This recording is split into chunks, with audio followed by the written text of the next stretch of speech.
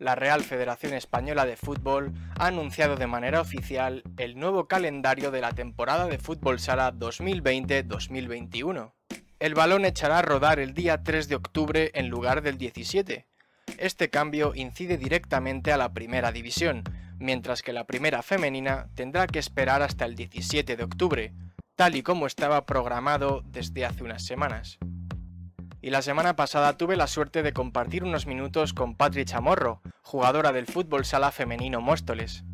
La salmantina nos contaba su opinión ante el inicio de temporada programado por fin para el 18 de octubre, los desajustes por parte de la Real Federación Española de Fútbol y demás asociaciones ante este comienzo, la profesionalización del fútbol sala y las sensaciones del equipo frente a los retos de este nuevo y peculiar año temporadas complicadas, eh, empezar a ver pues que el equipo por fin es competitivo, que puede volver a ser el, el Móstoles de hace años, eh, llegando a las fases finales, ganando títulos, eso es muy bonito y bueno, no sé si este año todavía va a ser posible llegar hasta a estar entre los mejores o los equipos top, pero sí para estar por lo menos a, a las puertas.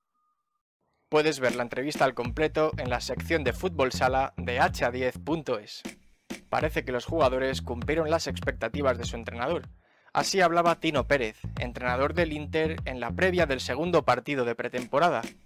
Bueno, les pido lo mismo que en el partido anterior, que tratemos de poner en práctica o que sigamos poniendo en práctica aquello que estamos eh, entrenando, que es fundamental. Creo que eh, pase lo que pase, eh, tenemos que llegar el lunes mm, y comparar con lo que estamos trabajando. El equipo madrileño afianza su buena forma y deja muy buenas sensaciones tras imponerse al Barcelona por 4 a 6. A pesar del resultado, Tino se siente satisfecho con la labor de sus jugadores, ya que para él lo más importante es plasmar en el juego el trabajo que hacen cada semana.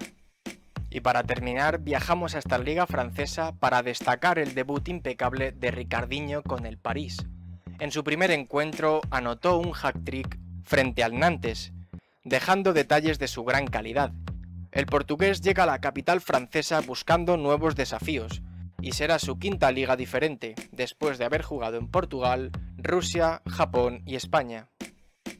Ya sabes, para seguir informándote sobre el nuevo calendario de la temporada de fútbol sala 2020-2021, las declaraciones de Patrick Chamorro sobre el equipo, la actuación del Inter en la pretemporada y la nueva aventura de Ricardinho en la capital parisina, Tan solo tienes que acceder a H10 Televisión entrando en www.ha10tv.es.